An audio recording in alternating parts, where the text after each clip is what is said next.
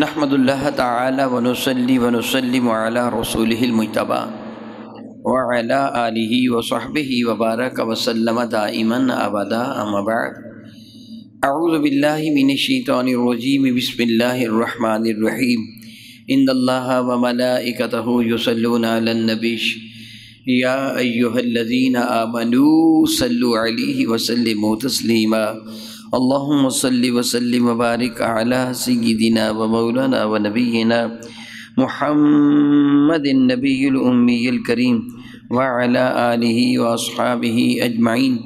अस्सलातु वस्सलामु अलैका या सय्यदी या रसूल अल्लाह व अला आलिका व अस्हाबिका या सय्यदी या सय्यदी या सय्यदी या हबीब अल्लाह अब अभी ग्राम कदर हकूक़ुल इबाद के सिलसिला में बिहमदिल्ला आपने कल वालदेन और औलाद के बारे में कुछ सुना। वालदेन कौन होते हैं? मियाँ और बीवी। उनकी औलाद होती है।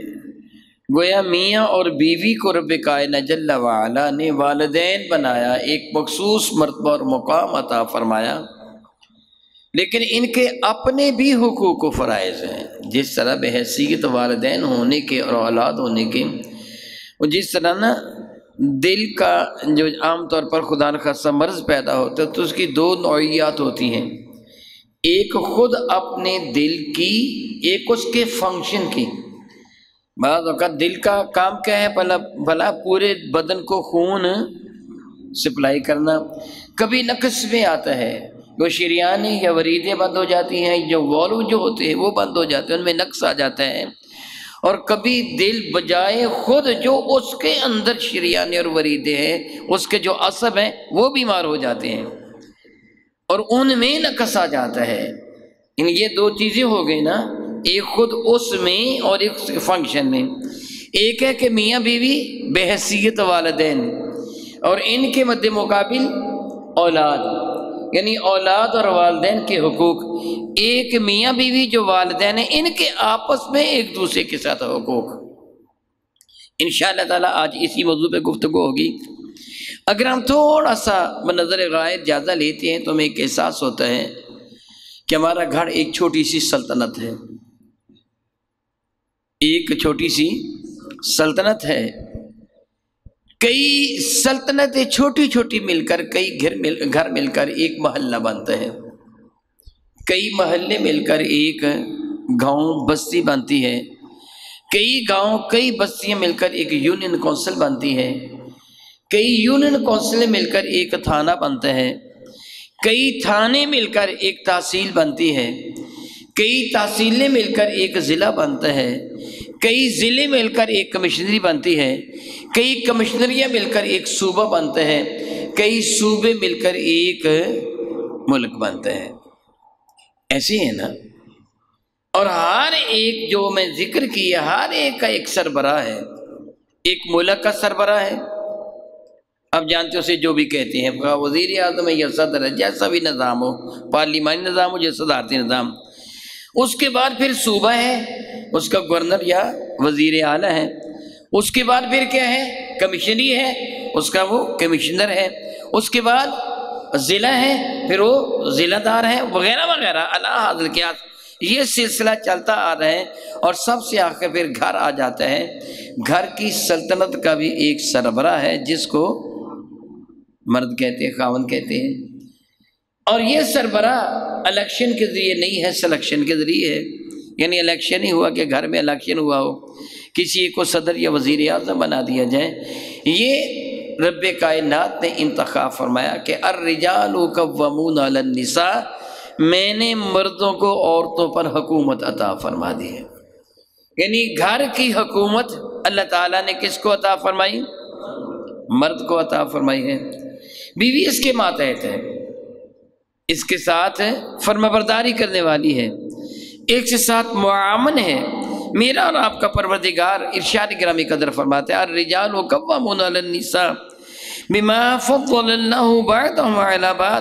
अल्लाह ने मर्दों को औरतों पर हाकम बना दिए, यानी घर का की हुकूमत अल्लाह ने मर्द को अता फरमा दी। इसलिए कि अल्लाह ताला ने बाज को बाज पर फजीलत अता फरमाई है। एक ही जैसा सबको बना दिया जाए तो बिगाड़ पैदा होगा। तबाही हो, बर्बादी हो जाएगी, एक जैसा सबको बना दिया जाए। थोड़ी देर के लिए समझिए, अगर अल्लाह ताला सबको अमीर बना देता, सबको साहब सरबत बना देता, खुदा न खासा आपकी दीवार गिर जाती तो दीवार बनाने के लिए कोई मजदूर मिलता? सारे ही अमीर होते, तेरी दीवार कौन बनाता? अगर सारे ही अमीर होते तो तुझे कपड़े सीने वाला कोई दर्जी मिल जाता। वो भी ठाड़ के साथ घर बैठा करे मुझे क्या ज़रूरत है कपड़ों की सिलाई करने की? मेरे पास बेशुमार दौलत है। रब कायनात है, ये जो अमीर और जूते गांटने वाले, ये दर्जी, ये कपड़ा बुनने वाले, बनाने वाले, सारे मुसलमान आपस में हैं, भाई भाई। मगर अल्लाह ताला ने इनमें ये फ़र्क रखा, किसी को अमीर बना दिया, किसी को गरीब बना दिया, ताकि माशरा इसी तरह चलता रहे। तो अगर घर की सल्तनत में सारे ही लीडर बन जाएँ, बीवी भी लीडर, खामद भी लीडर, बेटा भी लीडर, बेटी भी लीडर तो हुकूमत किस पे चलेगी? सोचिए ज़रा, घर तबाह बर्बाद हो जाएगा ना? हर एक की अपनी मर्ज़ी होगी ना? मेरे और आपके करीम आकर सुरबी शफ़ी मजमरम के शार ग्रामी कदर के मुताबिक मेरे नबी तो इशार फरमाया करते थे कि तीन आदमी भी सफ़र पर रवाना हो तो अपने में से एक को अमीर बना लेना। अपने में से एक को, फिर उसके हुक्म के मुताबिक अमल करना। फ़ायदा क्या होगा? जिस तरह आप जानते हैं कि तनहा तनहा नमाज़ पढ़ने वाले को एक नमाज़ का स्वाब एक नमाज़ के बराबर मिलता है। बाद जमात पढ़ ले तो पच्चीस से लेके पाँच सौ नमाजों का स्वाब मिल जाता है। कितना अजर बढ़ जाते हैं? बाद जमात होने पे। रब करीम को यही मंजूर है कि इतिहाद इतफाक हो। मेरे और आपके करीमा करसुलरबी शफी मजबर चीज़ की जानब खसूसी तवज्जो फरमाया करते थे। ला जमा बे अमीर। कोई भी जमात जमात नहीं होती जब तक तो उस जमात का अमीर या इमाम ना हो। आप जानते हैं। एक हज़ार आदमी तनहा तनहा नमाज़ पढ़ ले तो बाद जमात कहा जाएगा? सारी ऊँची आवाज़ बताना। नहीं कहा जाएगा। एक हज़ार आदमी तनहा तनहा नमाज़ पढ़ ले तो बाद जमात है। तीन आदमी एक आगे खड़ा हो जाए, दो पीछे खड़े होकर नमाज़ पढ़ने तो फिर बाजमात है। ये बाजमात क्यों है? इन्होंने किसी को अपना अमीर मुंतखब कर लिया है। ला जमा इल्ला बे अमीर। कोई भी जमात, उस वक्त तक जमात नहीं हो सकती, जब तक उसका कोई अमीर ना हो। ला अमीर इल्ला बता कोई भी अमीर अमीर नहीं हो सकता जब तक उसकी अतात ना की जाए फर्मा बरदारी ना की जाए। फर्मा बरदारी होगी तो तब ही वो अमीर होगा ना। अगर आपने किसी को कहा कि आप नमाज़ पढ़ाएँ, वो मुसल्ला पे खड़ा हो गया बाद जमात, नमाज़ पढ़ना चाहते मगर आप उसकी मानते ही नहीं है। फिर ये जमात होगी? आपने उसको इमाम माना? ला जमा इल्लब अमीर। ला अमीर इल्लब ता कोई भी अमीर उस वक्त तक अमीर नहीं होता, जब तक उसकी अतात और फर्मा बरदारी न की जाए। तो घर की अमारत का अमीर कौन है? मर्द। अर्रिजालू कव्वामून कव्वाम, इंतज़ाम, इंसलाम करने वाला। सादा से लफ्ज़ों में। हाकिम, अफसर। जब वो अमीर है, खामद तो फिर बीवी बच्चों सबको हुक्म है कि उसकी अतात फर्मा बरदारी करें। कितनी बड़ी बात है कि मेरे और आपके करीम आकर ने जहाँ ये फरमाया कि जो औलाद वालदेन की नाफरमान होगी, अल्लाह उसकी नमाज़ कबूल नहीं करता। जो औलाद वालदेन की नाफरमान है, अल्लाह उसकी नमाज़ को कबूल नहीं फरमाता। पहले आपने सुना वालदेन के बारे में, मैं पहले बता चुका हूँ कि फिर वालदेन आला हुए औलाद से ना, मेरी बात को समझने की कोशिश कीजिएगा। अब इस घर की अमारत को, सल्तनत को बाकी रखने के लिए, महफूज रखने के लिए, सही तरीके से चलाने के लिए औलाद को क्या हुक्म दिया? तू क्या कर अपने माँ बाप की? फर्मा बरदारी कर। जो माँ बाप कहें वो कर गुजर। अगर तू ऐसे नहीं करेगा तो अपने अमीर की, यानी माँ बाप की नाफरमानी करेगा। और माँ बाप की नाफरमानी तुझे जहन्न में ले जाएगी। तेरी नमाज़ भी कबूल नहीं होगी। और अब ये दो बने ना, खामद और बीवी माँ बाप जो थे, ये खामद और बीवी की हैसियत रखते हैं ना, औलाद को हुक्म क्या है?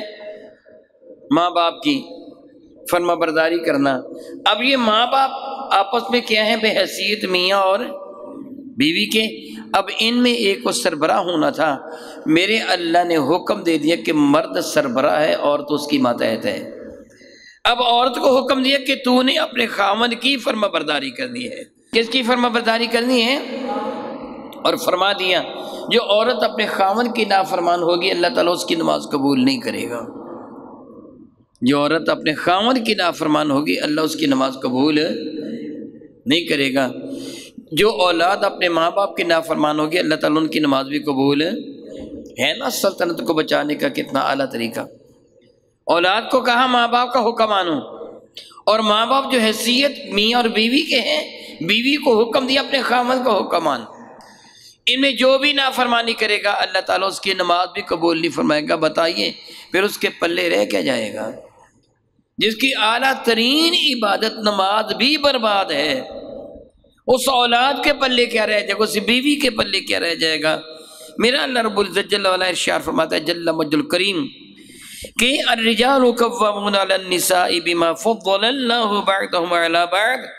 अल्लाह ताला ने मर्दों को औरतों पर हुकूमत अता फरमाई है, इसलिए कि कानून है। अल्लाह ताला ने बास को बात पर फजीलत अता फरमाई वह बीमा, और इस वजह से भी। एक तो क्या है, फजीलत अल्लाह ने दी है। क्या बोला? फजीलत है। और दूसरा सबब अल्लाह ने ज़िक्र फरमाया वह बीमा अनफकुमिन अमवालिहिम। और दूसरा ये कि मर्द अपना माल अपने बीवी बच्चों पर खर्च करता है। इससे दो मसाले अखज होते हैं। एक ये कि बीवी बच्चों की परवरिश की ज़िम्मेदारी मर्द पर है। वो अपनी बीवी को और अपने बच्चों को परवरिश करे। मेरी करीम आकर शाफमत जैसा तो खुद खाए, वैसा ही अपनी बीवी बच्चों को खिला। जैसा खुद पहने, ऐसा ही उनको पहना। कयामत के तो से पूछा जाएगा, तूने अपने मातहतों के साथ क्या सलूक किया? खामद की ज़िम्मेदारी अपनी बीवी और बच्चों की परवरिश है। और दूसरा, इसके सिवा कि खामद जो मेहनत और मुशक्क़त करते हैं, वो अपनी बीवी के लिए करते हैं। ये ना समझो कि ये तो उसकी ज़िम्मेदारी है। अल्लाह ने फरमा दिया खर्च करें।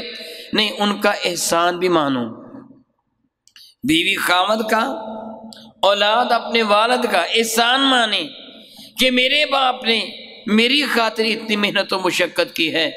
यही तो सबब है ना कि इसके चेहरे को देखना भी इबादत है। हज की तरह का स्वाब है। एहतराम और मोहब्बत के साथ देखना।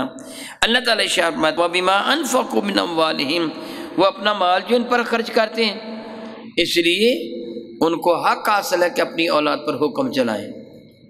भी ऐसे होता है कि नहीं होता? जब से बच्चा पैदा हो जाता है, माँ उसे दूध पिलाती है। बाप उसकी खिदमत में लग जाता है कि नहीं? कमा कमा के लाता है, बच्चे की परश करो। बीमार हो जाए तो उसकी नींद, उसका चैन, सुकून, वो सब उचाट हो जाते हैं। जब से शादी हो गई, खावन की ज़िम्मेदारी के लिए, ये लाजिम हो गया खावन की ज़िम्मेदारी में। वो अपनी बीवी की परवरिश करे, उसकी ज़रूरियात का ख्याल रखे। फिर जब औलाद होगी तो अब औलाद की भी ज़रूरियात का ख्याल रखना। अल्लाह ताला फरमाते हैं सुबहान अल्लाह वबीम दही यहाँ तक अल्लाह ताला ने मर्दों का ज़िक्र करने के बाद अब वफा शार, ख़वातीन का ज़िक्र फरमाया। मेरा अल्लाह इरशाद फरमाता है जल्ल मकीम फ़सालिहात वो नेक औरतें। सबसे पहले किसका ज़िक्र किया? नेक कौन औरत होती है जो पाबंदी के साथ है? नमाज़ पढ़ती है। अल्लाह ताला के अहकाम को नज़रअंदाज है, नहीं करती। कुरान पाक पढ़ती है, रोज़ा रखती है। अल्लाह ताला तोफ़ी को हिम्मत अता फरमाए। माल ज़क़़त उसके ज़िम्मा हो तो ज़क़़त भी अदा करती है। अल्लाह ने तोफ़ी दी तो हज भी करती है। वो नेकोकार औरत, फसालहात, वो नेकोकार औरतें कानिता तुन अपने खामन से वफा करने वाली। अपने खामत से मोहब्बत करने वाली, अपने खामत से वफा करने वाली हाफिजातुल्लिलगैब अल्लाह अकबर, सुबह चला जाता है खामद बेचारा शाम को आता है, फिर उसके घर की ज़िम्मेदारी किस किसको सौंपी जाती है? औरत को। गोया औरत औरत अमीन है ना, अमानतदार है ना, अपने खामद के घर के सारे माल की, तनहा माल की नहीं अपने खामद की इज़्ज़त व नामूस की भी मुहाफिज है। मेरा अल्लाह फरमाते हैं हाफिजातुल्गईब बिमा हाफिज अल्लाह। खामद की अदम मौजूदगी में उसकी इज़्ज़त की हिफाजत करती हैं, दरवाजे खोल कर बाहर झांकती नहीं है। ये भी खामद से ख़यानत है कि नहीं है? किसी गैर मत से गुफ्तगु नहीं करती, ये भी खामद से ख़यानत है। जो उसका माल है, उसको बर्बाद नहीं होने देती, उसकी हिफाजत करती हैं। ये भी ना करना हिफाजत, ख़यानत है। उसके बच्चों की परवरिश भी करती हैं। परवरिश का ना करना भी ख़यानत है। मेरा अल्लाह शाफ मत है, वो हिफाजत करती है, ख़यानत नहीं करती। वो क्या है? हिफाजत करती है, ख़यानत नहीं करती। इन ताला आप आगे वर्ष बार का अगर वक़्त हुआ तो सुनेंगे। मेरे और आपके करीम आकर सुलत शाह फरमाते हैं, जो औरत पाबंदी के साथ नमाज़ पढ़ें, रमज़ान बार के रोज़े रखें, अपने खामद की फर्माबरदारी करें, अपनी इज़्ज़त की हिफाजत करें, क़यामत के मेरा अल्लाह इर्शाफ मैं का जा जिस दरवाजे से चाहे जन्नत में दाखिल हो जा। एक रैत में मेरे करीम आका फरमाते हैं कि मैं उसको जन्नत की ज़माना देता हूँ।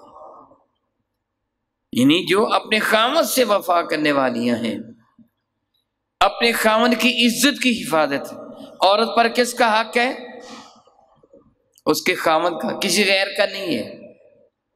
हती के, जब तक शादी नहीं होती, जब तक शादी नहीं होती, बेटी पर फ़र्ज़ है कि अपने वालदेन का हुक्म माने, लेकिन जब शादी हो जाती तो वालदेन के हकूक़ व फ़रज़ ख़त्म हो गए, अब उससे अपने खामद का हुक्म मानना है। यहाँ तक कोलमा ने तारीफ़ फरमाया कि अगर कोई खामद अपनी बीवी के वालदेन को अपने घर में आने की इजाज़त ना दे तो बीवी नहीं घर ला सकती। अगरचे खामदों को, यानी मना किया गया है कि तुम ज्यादती ना करना, वो एक जुदा बात है। लेकिन खामद ना चाहे तो अब उसके घर में बीवी के वालदेन भी नहीं आ सकते। किसी गैर का होना तो दूर की बात है। ये खामद की हिफाजत में शामिल है। मेरा अल्लाह शार फरमाते हैं कि बिमा हाफिज अल्लाह जिस तरह अल्लाह ताला ने उनकी हिफाजत फरमाई, इस तरह ज़िम्मेदारी उनको सौंपी है वही हिफाजत करें। वल्लाती, और वो खातन के तकाफून नशूर के जिनकी नाफरमानी का तुम्हें डर है, कि मेरी औरत मेरी अदम मौजूदगी में नाफरमानी करती है। एक सियाबी, मैं जानबूझ के उनके इसमें ग्राम नहीं लूँगा। वो सियाबी उन्होंने देखा कि उनकी बीवी, वो दरवाजे से बाहर झाँक रही थी, उन्होंने उसको सजा दी मारा। उन्होंने देखा कि एक फल खाकर आधा, आप खा लिए, आधा गुलाम को दे दिए, फिर भी उन्होंने मारा, कि ये अंदाज ठीक नहीं है। जो चीज़, जो हक खामद का है, वो किसी और को देने की इजाज़त, नहीं है। मेरा अल्लाह शर्मत है हाँ वल्लाती, वल्लती से है जमा, वल्लाती, वल्लती मुन्नस के लिए वो औरत। वो सारी की सारी खुवातीन, के तकाफून ए मर्दो, जिनसे तुम खौफ ज़दा हो, डरते हो कि नशूज़ा वो तुम्हारी नाफरमानी करती हैं। अगर तुम्हें उनकी नाफरमानी से ख़तरा हो, डर हो, यानी वो तुम्हारी नाफरमानी करें तो फ़ैज़ू हन्ना सुबहान अल्लाह तरतीब देखिए। उनको नसीहत करो। उनको समझाओ, भली मानस ऐसे नहीं किया जाता। ये अमल गुनाह का है, नाजायज़ अमल है अच्छा अमल नहीं है। मैं सादा से लफ्ज़ों में एक बात कहना चाहता हूँ, आप अपने घर गए। आपकी बीवी ने आपके सामने शिकायतें लगाना शुरू कर दी। तेरी बहन ऐसी है, तेरी माँ ऐसी है, तेरी भाभी ऐसी है, तेरा भाई ऐसा है, तेरा अब्बा ऐसा है। शिकायतें लगानी शुरू कर दी। आप ये जानते हैं ये शिकायतें क्या होती हैं? इसको क्या कहते हैं इस में? गीबत। क्या कहते हैं? गीबत का सुनना भी हराम है, गीबत का करना भी हराम है। मेरा अल्लाह फरमाता ला यक तो बादा लहम अखीही मैतन फकरिहतुमूहु। खबरदार आपस में एक दूसरे की गिबत ना करो। क्या तुम बर्दाश्त करते हो कि अपने मरे हुए भाई का गोश्त खाओ? गीबत गुनाह है। माजल्ला माजल्ला माजल्ला ने लिखा कि ये जना से भी बदतर गुनाह है। बदकारी से बदतर गुनाह है, गीबत का करना। अल्लाह तो प्यार के साथ समझाओ कि बली मानस यह गीबत है। मेरे सामने गीबत ना करो। तो भी गुनागार होगी, मैं भी गुनागार हो जाऊँगा। फ़ायदा कोई भी नहीं होगा। छोटी छोटी बातों की शिकायतें नहीं लगाई जाती। अगर तेरी को ज़रूरत है तो बता, मैं तेरी ज़रूरत को पूरा कर दूँगा। एहसास दिलाइए, मैं आपको वो एहसास दिला रहा हूँ, यही एहसास दिलाइए। बेहमदिल्ला ताला, मैं खुद अमल करता हूँ। मैं खुद अमल करता हूँ। आप भी ऐसे कीजिए। आपके घर वाले किसी की बात करना चाहें कि फलां औरत ऐसी है, फलां मर्द ऐसा है, फलां ऐसा है, फलां ऐसा फलां ऐसा मना कर दो। तो ना अपनी नेकियाँ बर्बाद करना, मेरी क्या ज़रूरत है हमें अपनी नेकियाँ बेगान? हज़रत सैदना हसन बसरी रदी अल्लाह तशरीफ़ फरमाते कोई आदमी इनकी खिदमत में हाजिर हुआ, दरवाज़ा खटखटाया बाहर निकले तो उससे किया कि हजूर, मैं अभी अभी फला शख्स के पास से आ रहा हूँ। मैं नेकी की नीयत लेके आया हूँ, आपको बताना चाहता हूँ, आप उससे थोड़ा सा मोहतात रहें। क्या भला थोड़ा सा उससे? वो आपकी गीबत कर रहा था। ये नहीं कहा क्या कहता क्या नहीं।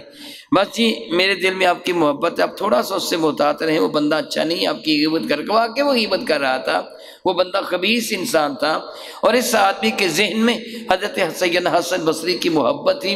ये चाहता था कि उस पर एतमाद ना करें, कभी उसके सामने ऐसी बात ना कह दें जो इनकी मुआज अल्लाह तोहन का सबब बने।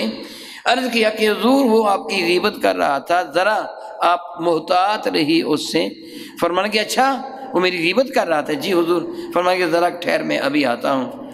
उसको रोका और अंदर गए, एक थाल तबाक।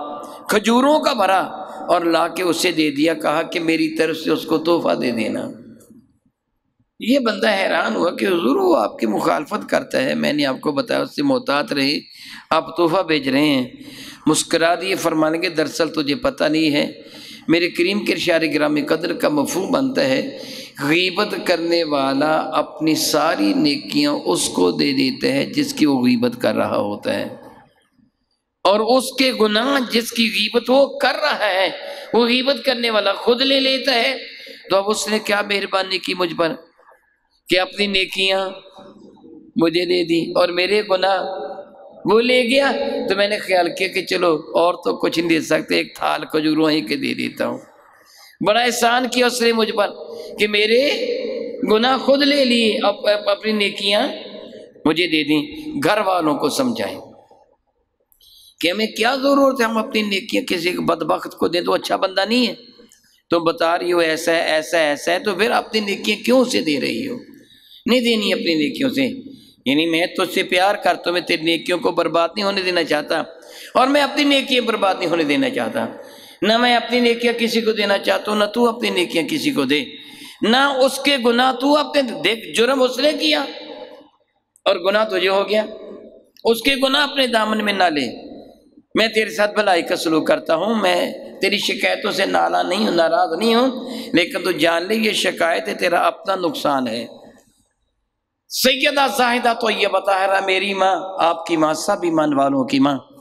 सैयद आशा तो सिद्दीक रदी अल्लाह तला बारगाही बेकसपना में हाजिर थी एक औरत आई, बातें बहुत करने वाली, बड़ी बात होनी ये आप जानते ना बात लोगों बात ही टूट नहीं देते।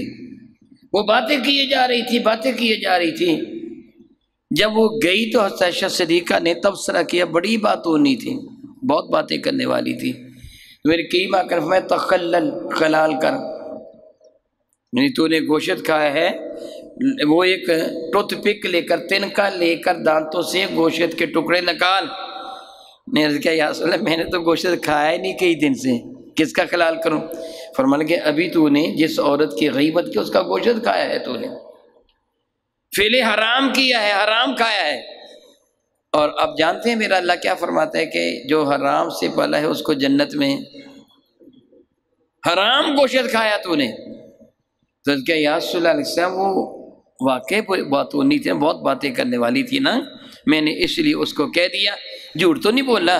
मेरे करीब फरमाने लगे अगर तू तो झूठ बोलती तो मैं कहता आयशा बोहतान तराशी ना कर, ये उससे भी बड़ा गुनाह है। गोया, बात सच्ची हो, गीबत किसे कहते हैं?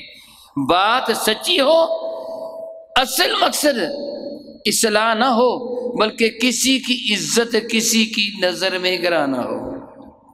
किसी की इज़्ज़त, किसी की नज़र में गिराना हो तो क्या है? गीबत। क्या है? अब बेटे की नज़र में माँ की इज़्ज़त गिराना गीबत है कि नहीं? भाई की नज़र में बहनों की इज़्ज़त कराना गीबत है कि नहीं? सवाए इसकी और कुछ भी नहीं है कि इससे वो मोहब्बत ना करे, मेरे साथ मोहब्बत करे। कोई ना को बहाना, ये गुनाह और हराम है, अपनी नेकियों को तुम बर्बाद कर रही हो। मेरा अल्लाह फरमाता है कि अगर ऐसे करें तो फ़ायदून्ना उनको नसीहत करो। अगर वो बाज ना आए तो वह जरूहन फ़िल्म उनको, उनके बिस्तरों पर तनहा छोड़ दो। उनके साथ नाराज़ हो जाओ। मुराद क्या उनके साथ है? बातचीत करना बंद कर दो। पहले नसीहत करो। माने तो ठीक है वह गन्ना उनसे नाराज़ हो जाओ। और अगर फिर भी वो ना माने, वो मुसलसल नाफरमानी करती रहे तो वो तरीबू हन्ना फिर उनको मारो, सजा दो। फिर उनकी इसलाह के लिए क्या करो? स्टेप वाइज है। पहले क्या करना है? समझाना। और फिर क्या करना है? इजहार नाराज़गी करना। अगर फिर भी बात ना आए, वो तेरा नुकसान करें, तेरी माँ, तेरे बाप की गुस्सा की करें, तेरे घर का माल बर्बाद करें, तेरी अदम मौजूदगी में वो तेरी इज़्ज़त व नामूस की हिफाजत ना करें फिर तुझे इजाज़त है कि सज़ा दो। फ़ैन आता ना कुम लेकिन अगर वो तुम्हारा कहना मान लें किसी भी स्टेप पर, पहले पर, दूसरे पर, तीसरे पर तुमने नसीहत की, उनने कबूल कर ली, बस ठीक हो गया। तुम नसीहत करते थे, कबूल नहीं की उसने, तुम नाराज़ हो जाओ। उससे मना लिया, ठीक है, बल्कि मेरे करीम आका ने कबीर शाह फरमाया था, मैं भी बेटियों वाला हूँ। मैं भी बहनों वाला हूँ। अल्हम्दुलिल्लाह ताला, अल्लाह ने मुझे बेटियाँ भी दी हैं। अल्लाह ताला ने मुझे बहनें भी अता फरमाई हैं। मैं अपनी बेटी और बहनों को समझा रहा हूँ। मेरे करीम आका ने कभी फरमाया था, तुमको बताऊँ, जन्नती औरत कौन सी है? मेरी बेटियाँ मेरी बात सुन रही, मेरी बहनें मेरी बात सुन रही हैं। मेरे नबी ने पूछा था, खुवातीन से बताऊँ कि वो जन्नती औरत कौन सी है? तो औरतों ने कहा यासला ज़रूर बताइए। मेरे नबी फरमान के, खामन नाराज़ हो जाए, लड़ाई हो जाए तो औरत आगे बढ़कर अपने खामद का हाथ पकड़ के कहे, मैं तेरी हूँ, जहाँ जी चाहे मुझे ले जा, मैं तो तेरी नाफरमानी नहीं करूँगी। मैं नबी फरमाते खामद को राज़ी कर दे, ये औरत जन्नत में चली जाएगी। क्या है? कौन सी बड़ी बात है? कि अगर तू अपने खामद को राज़ी कर लेगी तो तेरा अल्लाह तो उससे राज़ी हो जाएगा, तुझे जन्नत में ले जाएगा। खामन के लिए भी क्या हुक्म है? एक रोहत मेरी नज़र से गुजरी। सैदा जाहिदा तो ये बता रहा आयशा तो सिद्दीक रदी अल्लाह तहा और मेरे करीम आका ताजम शफ़ी मज़म रहमत आलम सल्लम आपस में किसी मौजू पर गुफ्तु फरमा रहे थे। इतने में हज़रत सैदना सिद्दीक अकबर रदी अल्लाह तहो बारगाह बेकसपना में हाजिर हो गए। मेरे और आपके करीम आकर सुरहमत फरमाएँगे, आयशा, तेरे अब्बा जी आ गए हैं, अब इनसे पूछ ले। जो भी बात हो रही थी, इनसे पूछ ले। हज़रत ऐशा तो सिद्दीका, घर का माहौल है, सादा से खड़े हैं, दोनों बातें कर रहे हैं। हज़रत ऐशा सिद्दीका, मेरे करीम आका भी हज़रत सिद्दीक अकबर आ गए। कोई नाराज़गी नहीं है, कोई रंजश नहीं है, कोई बात हो रही है। मेरे करीम आका फरमान लगे, आयशा, तेरे अब्बाजी आ गए इनसे पूछ लें। तो आयशा तो सिद्दीका ने जवाब अर्ज़ किया यारसुल अल्लाह आप इनको बात बता दीजिए, सच सच बता दीजिए। आम सा जुमला था। आप ही बता दीजिए और क्या बोला? मैं आपसे पूछ रहा हूँ ताकि मुझे पता चले आप सच सचमुच जाग रहे हैं। सचमुच जाग रहे हैं। क्या कर, उन्होंने अर्ज़ किया था? जी? नहीं सारे सचमुच बता। दें। ये जुमला ज़ुबान से निकलना था कि सैदना सिद्दीक अकबर ने एक जन्नाटेदार थप्पड़ आयशा सिद्दीका के मुँह पे दे मारा। बहुत ज़ोर से थप्पड़ मारा। हसैशा सिद्दीका रदी अल्लाह ताला मेरे करीम आका के सामने खड़ी थी। ये मजीद थप्पड़ से बचने के लिए हजूर के पीछे छुप गई और हजूर ने इनको अपनी हिफाजत में ले लिया। सिद्दीक अकबर मजीद मारना चाहते थे। मजीद सजा देना चाहते थे। बड़े गुस्से में थे। मेरे करीम आकर फरमाया कि, अबू बकर, ये तुमने क्या किया? क्यों मारा इसे? तो उन्होंने अर्ज़ किया, यार इस अपनी जान की दुश्मन ने आपको ये जुमला क्यों कहा कि सच सच बता दो? ये जुमला क्यों कहा? ये तो आपकी तोहन की है इसने।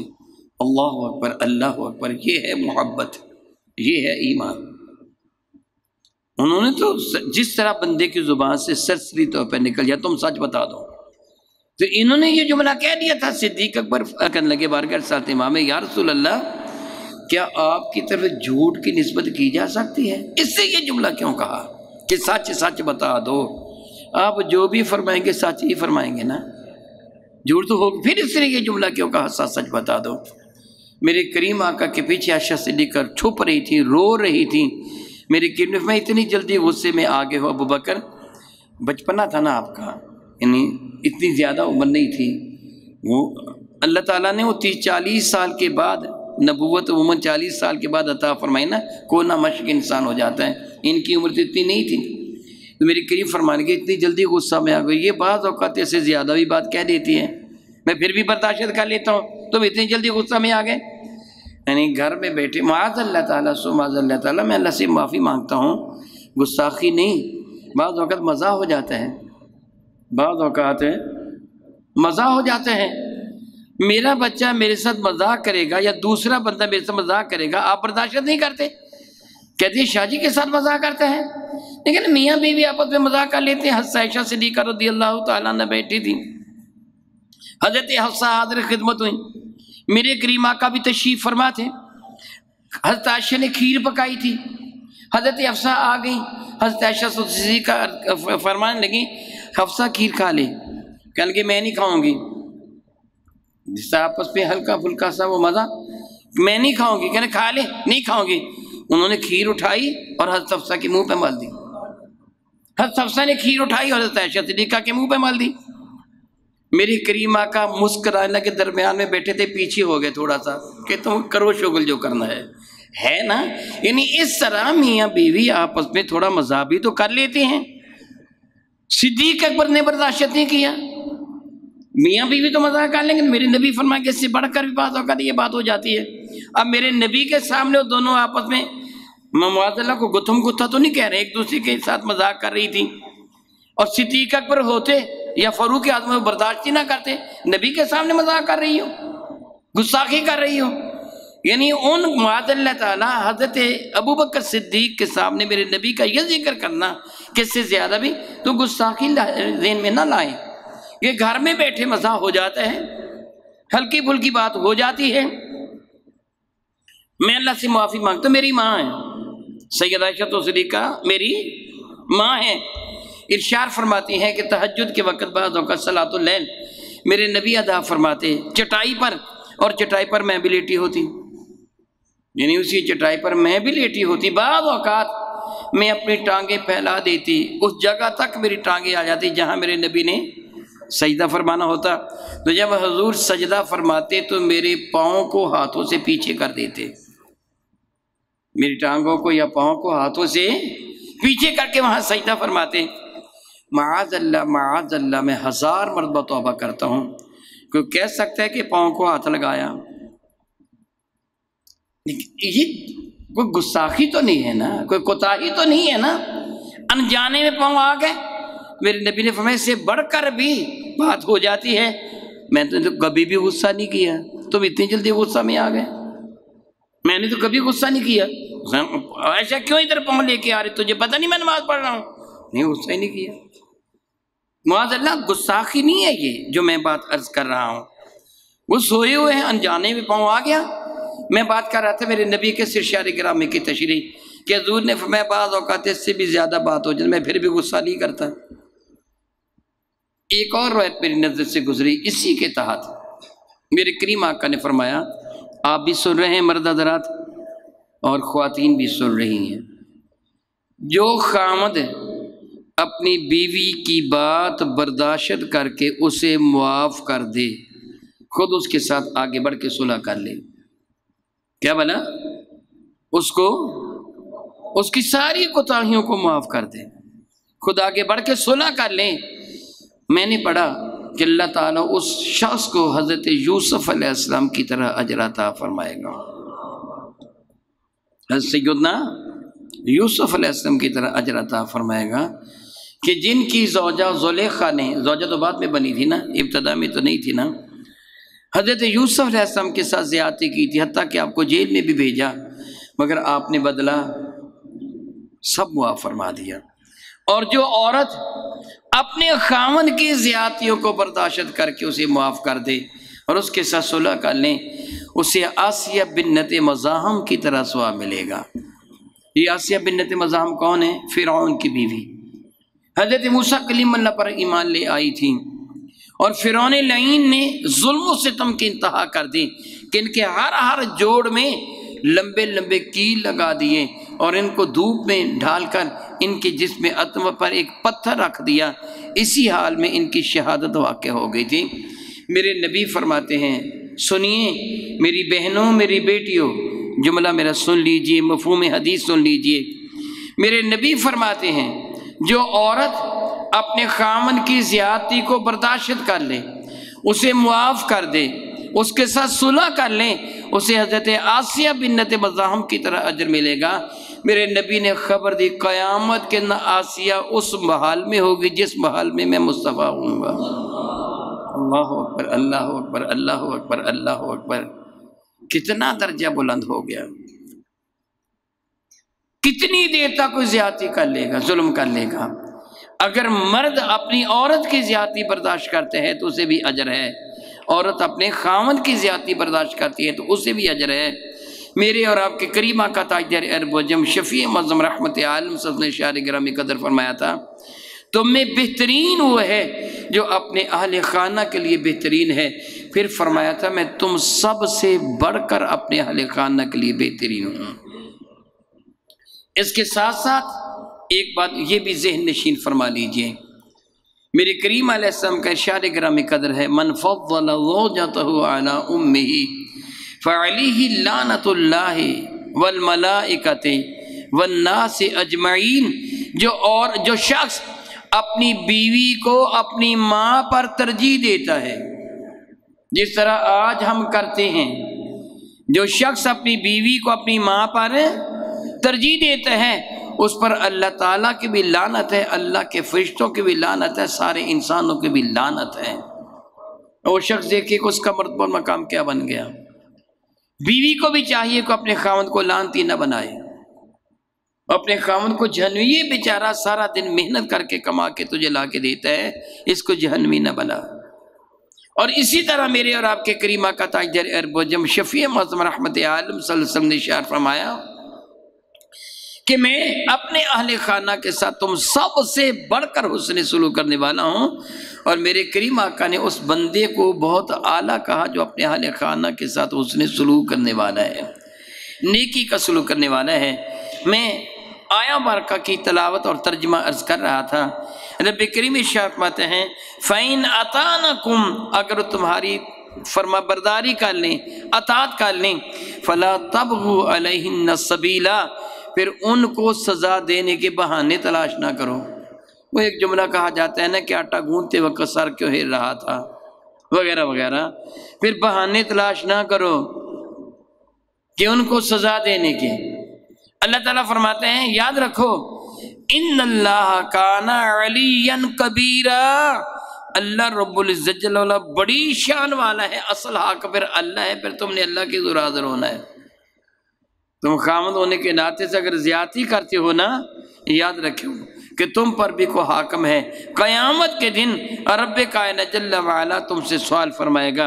इरशाद फरमाते हैं वला हन्ना मिसलजी आलिन्ना बिलमारूफ। सुबहान अल्लाह कुरान पाक का असलूब बयान कितना नराला है, कितना नराला है। वला हन्ना औरतों के लिए भी एक हिस्सा है। वना मिसलजी अलहिन्ना। जिस तरह तुम्हारा हक औरतों पर है, इसी तरह औरतों का हक भी तुम पर है। मगर क्या? बिलमारूफ सही तरीके से। क्या बोला? अपनी बीवी को इतना ना सर पर उठा लो कि मरूफ से आगे गुजर जाओ। फिर भी तुम जाहिल होगे, अक्लमंद नहीं होगे। फिर भी तुम क्या होगे? मेरे कईम का एक इर्शाद ग्रामी कदर है, जब फारस वालों ने औरत को अपना हक बनाया था, मेरे नबी ने फरमाया था, जिस सल्तनत की सरबरा औरत होगी, वो सल्तनत बर्बाद हो जाएगी। अगर तूने अपने घर की सल्तनत की सरबरा औरत बीवी को बना लिया, फिर तेरी खैर नहीं है। बीवी तेरी मातहत रहनी चाहिए। हाँ जिस तरह अभी आप सुन चुके हैं, खर्च वो करेगी। तो उसको जो रकम देगा, खर्च करेगी। हुक्म तेरा होगा अतात उसकी होगी। ना फरमानी ना तू अपने रब की करना होते अपने रब की करेगी। किसी से कमी बेशी हो जाए तो एक दूसरे को मुआफ का देना बहुत बड़ा बहुत बड़ा अजर है। मेरा अल्लाह शर्मत है, वलिर दराजा। मगर मर्दों को औरतों पर फजीलत हासिल है। वल्लाह अज़ीज़ हकीम।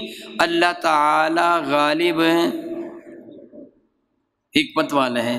वो पता चला कि मेरा जिसम मेरी मर्ज़ी। ये कुरान के हक में है कि कुरान का इनकार है? फिर कुरान का इनकार करने वाला मुसलमान रह जाएगा? क्या हो जाएगा? वो काफर है। दर इस्लाम से खारज। अगर पहले ईमान वाली थी तो मुर्तद। हुकूमत वक़्त का फ़र्ज़ होगा कि उसको तोबा की तोफीक दिलाए। या तौबा को हुक्म दे, मजबूर करें। अगर वो तोबा ना करे, फिर उसको कत्ल कर दिया जाए। मुर्ताद की सजा कत्ल है। मेरा जिससे मेरी मर्ज़ी नहीं, सबसे बढ़कर मर्ज़ी तेरे रब की है, उसके बाद तेरे कामद की है। अल्लाह ताला ने ये हुक्म दिया है, इसमें मेरी मर्ज़ी नहीं है, मेरे रब की मर्ज़ी है। तेरी मर्ज़ी नहीं है, तेरे, अल्लाह याजबिल्ला ताला, मेरे नबी का इरशाद ग्रामी कदर जो औरत अपने खामन की पूछे बगैर घर से बाहर निकल जाती, जब तक घर वापस नहीं आती, उस पर मुसलसल अल्लाह की लानत बरसती रहती है। इस हाल में मर जाए तो किस हाल में मरी? लानत की हालत में।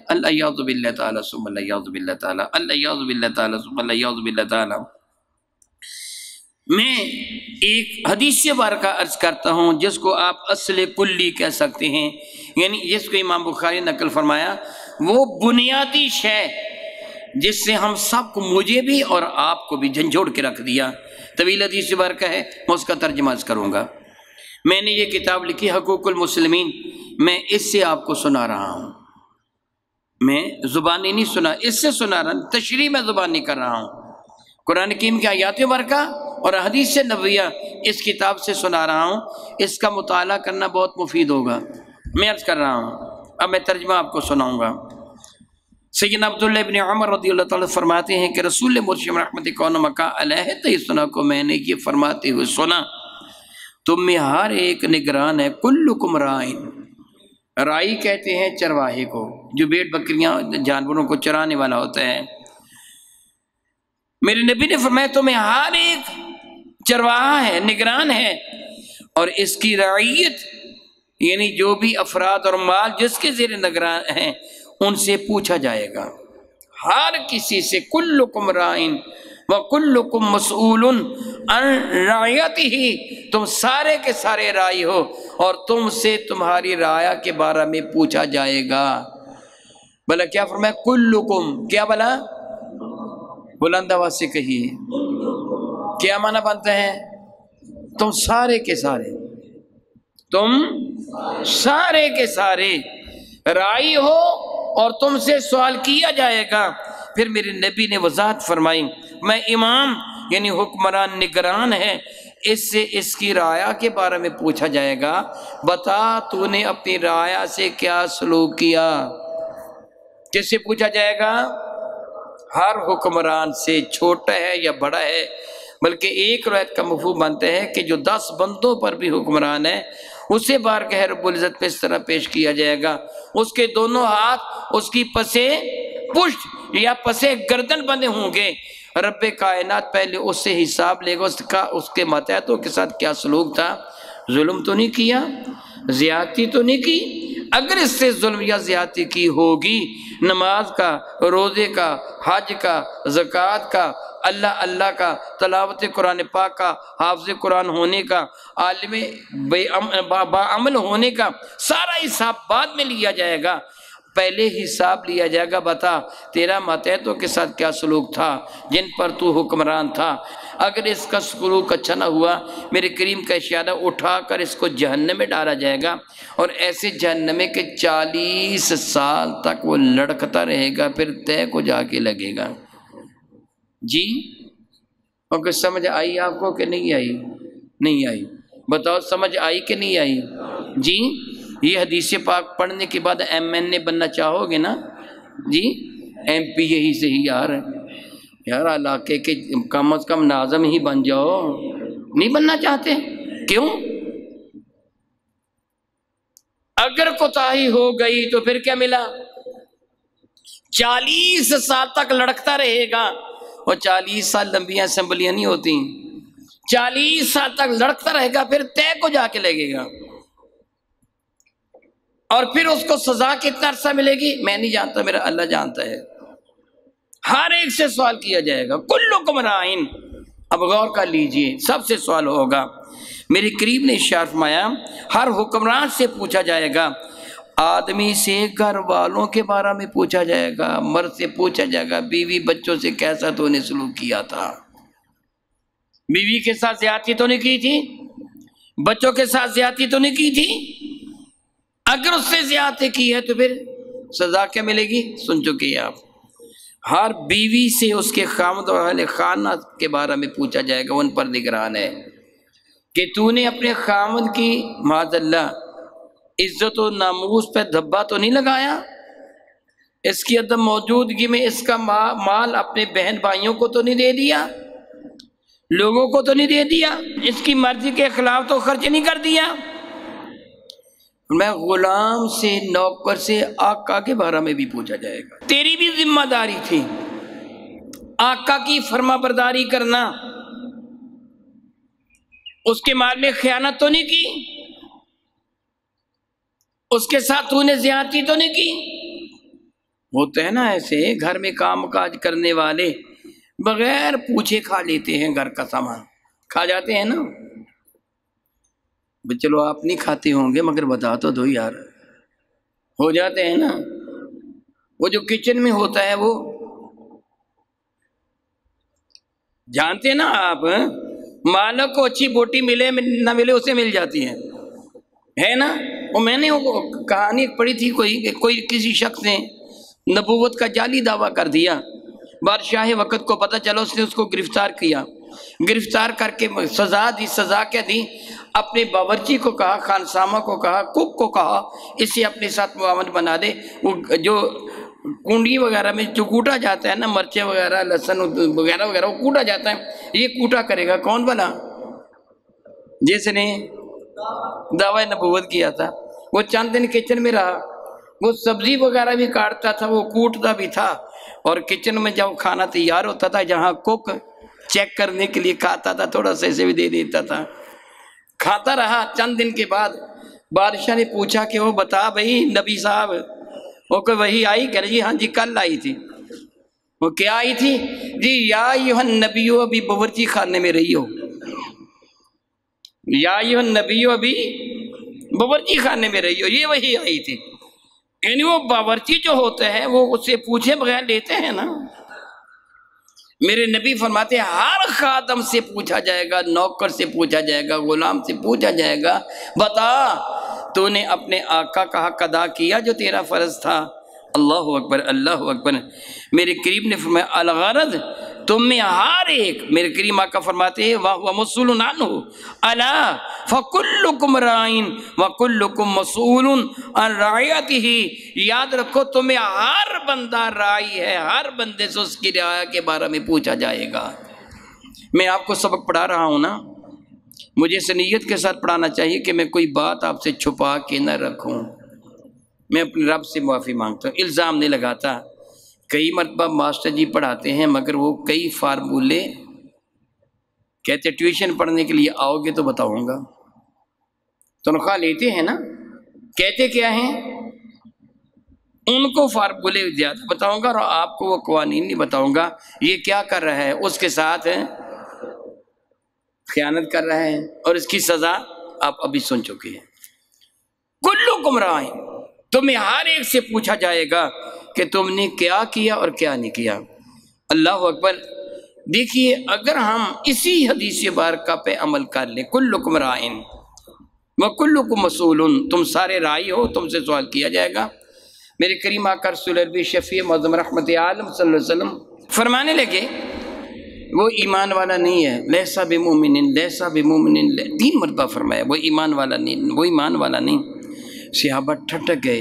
या कौन ईमान वाला नहीं है? जिसके लिए ज़ुबानी वही तर्जमा से तीन मरबा निकल जाए, वो ईमान वाला नहीं।